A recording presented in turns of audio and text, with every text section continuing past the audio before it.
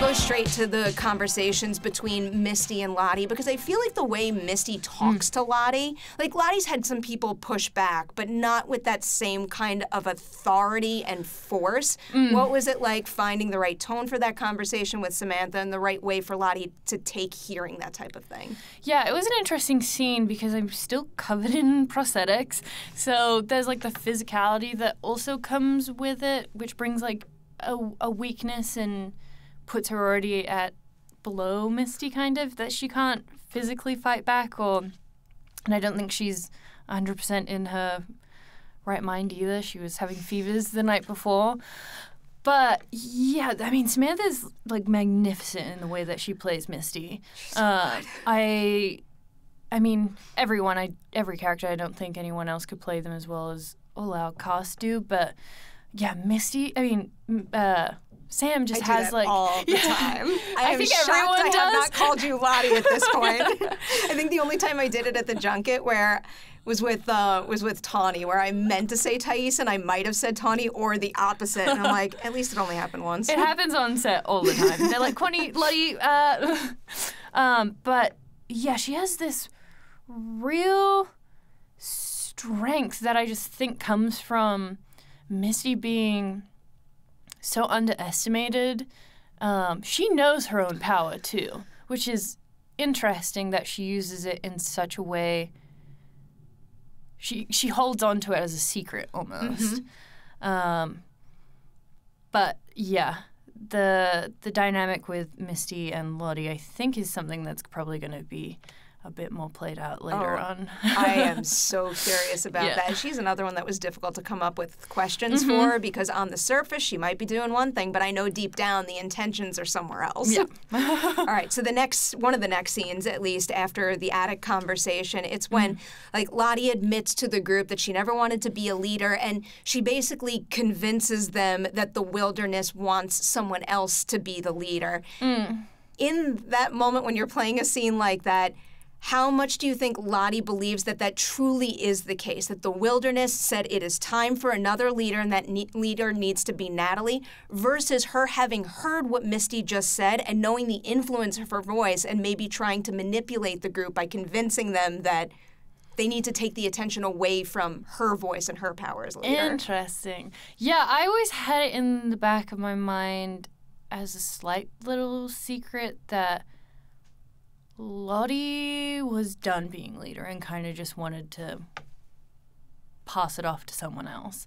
Um, and a way of doing that was saying that it is the wilderness. But I do think with Lottie, it's always two ideas at the same time. It's half and half. Like, I think it's half that and then half.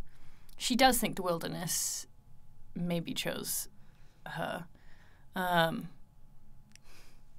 yeah. It's always a little of both. No, I get it. I get it. All right, I'm moving on to the scene with uh, Juliette on the plane now. I'm really, I'm really curious about how you play a scene like that because I feel like whenever we see a character have, you know, a dream or a vision, the other people that they see might be more so representations of, of like their projections and how they envision them. So when you're playing Lottie in that particular scene, how much is like your true Lottie versus what Natalie might be seeing at the moment? Hmm, that's a really good question.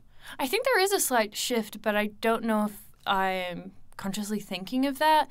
Um, but she is a softer, like the best version of Lottie that she could be talking to Juliette. Oh, that's curious. Yeah. okay, so my follow up to that would be one of her lines is Natalie, it's not evil, just hungry like us, just let it in. So when you mm. deliver a line like that, even if it's something that winds up changing down the mm. line, do you have to have, I guess, any sort of understanding in what her actually doing that would do to her? Like what letting it in would feel like, if if that's rest or if there's something more sinister involved? Yeah, I don't know. I thought about this line a lot, and I had a bit of trouble with it when we were doing the scene because I was like, I don't know what I'm saying, and the, no one's gonna tell me what the meaning behind it is. Um, but was what was the second half to that question? I think it was uh, just if you need to know if you Oh, need to know the results of Natalie taking her up on that advice by doing that. No, I, I, I think with this show you can't always try figure out what the result is and and I kind of just go by what the feeling is in that moment. What like that question might bring up in me more so than trying to figure it out because if you try to figure it out you're going to throw yourself too far left or right, mm-hmm. and then you're gonna have to backpedal if you were wrong. So this is uh, like a little more theory territory again, but the last line of of season one for her: "Shed the blood, my beautiful friends, and let the darkness set us free." What do you think she meant by that in season one, and how might she reinterpret or redefine that statement at the end of season two? I. Th- I think they're completely flipped now. For season one, it was coming from a a place where I think they're in complete chaos and and God, I think now that that version of that line is a lot darker, and maybe for all of them, but m- maybe it's directed at the people around her, less so than her being involved. I think the first time she said that line included her. Maybe the second time she's uh, in the second half of it is she doesn't count herself as part of that anymore. Okay. I don't uh, know. I like, no, I, I, like that thread. That's that is truly how I kind of interpreted mm. it too. I'll ask you two two more questions before we wind this down. Kind of jumping off that point a little. At the end of season two, what do you think Lottie thinks her greatest strength is and her greatest weaknesses? Who? At the end of season two, I'm not sure if Lottie thinks she has a great, like a, a greatest skill. Um, I think she feels that she's done damage, not intentionally.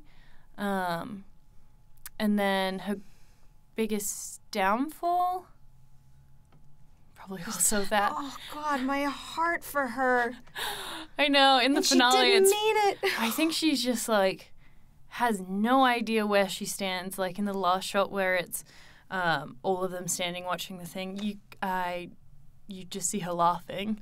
I don't think she really knows what to do. And she's like, burn. Like, oh, wow. Sorry. that is so dark. Yeah. But I love it. I love I, it. Yeah, all, your, all your interviews with us just been like dark pretty, as hell. Oh, pretty much. I feel like I feel like also I was especially taken aback by that with with Liv because Van starts with with so much mm-hmm. light in her, and you could and it's true what they say in the show actually happens So over the course of it. You see it dimming and dimming and dimming, mm-hmm. and it's it's heartbreaking to watch yeah. something like that happen. All right.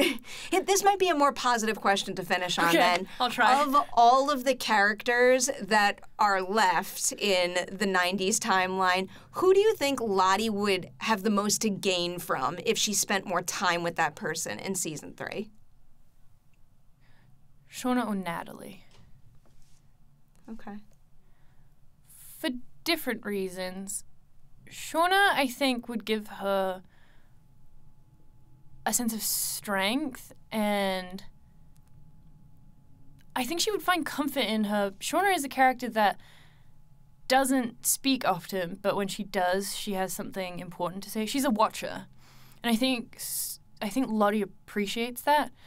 Um, and then Natalie, I think Lottie admires how truly herself she is. Um, so life lesson wise, I think those two. But I also feel like I don't know. I feel a weird tie between the three of them. I don't know what that means. Okay. And maybe in season three something will happen. I don't know. That just seems like something that they're dancing around with each other.